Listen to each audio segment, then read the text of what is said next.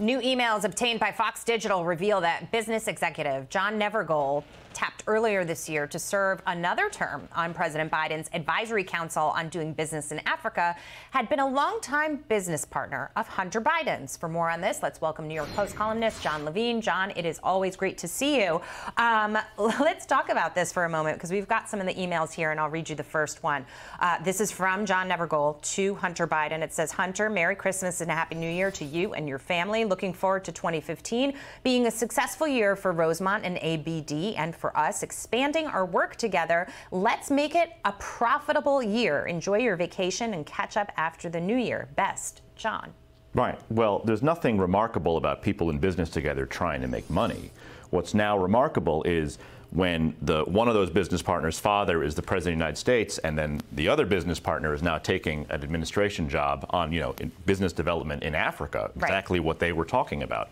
So, you know, it's any time you have a, a business partner of Hunter Biden getting a an administration job, it should raise red flags. Yeah. Because you have to wonder about improper access and whether they're still using their connections to profit, you know, you know, for their for their own personal businesses. It would seem that that is the case for the people who've denied that the Hunter Biden laptop exists. They have a lot of egg on their face now, and they realize that the family does have very strong business connections and ties to, you know, to companies in China, Ukraine, um, for example, Kazakhstan, um, right. and so you stand back and say, "Wow, this is still going on," and you've got people out there denying who the big guy is. Right, right. Um, and you saw the Bidens vacationing for Thanksgiving in Nantucket. They don't even seem to be phased by any of this. Not at all. And I, you know, when I was going through this reporting on Fox News, what struck me was this is not the only time we've seen this. If you look at the hard drive during the Obama Biden years,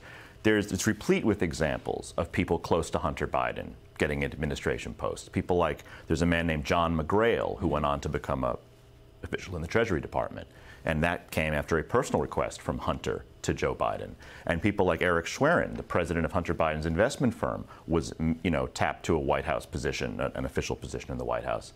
And he visited Joe Biden in the White House and dozens of other uh, people in, in in official buildings and official capacities during that period. Yeah. So it all raises a lot of questions about what was what was the access here? And as we're sitting here and we're watching pictures of the protests going on in China, and we see the president not really taking a tough stance on it. I'm going to read a second email from John Nevergole. If we can put it up, this one is also to Hunter Biden, um, and I'm just going to read one line of it. He he says, you know, first he says, "Let's catch up," and then he goes on to say, "and go over some ideas on how we can work together overall on the China initiative." I mean, you sit back. This wasn't just about Hunter Biden doing business in China, but lots of people were trying to profit from it. And they're involved in this administration's work. And, and you sit back and ask yourself, well, how could this not be influencing their response to what's happening on the ground right now? One of the key questions the House Hunter probe seeks to ask is to what extent Joe Biden is compromised by his son's business dealings. Yeah. Because we know that even though he said he had no involvement,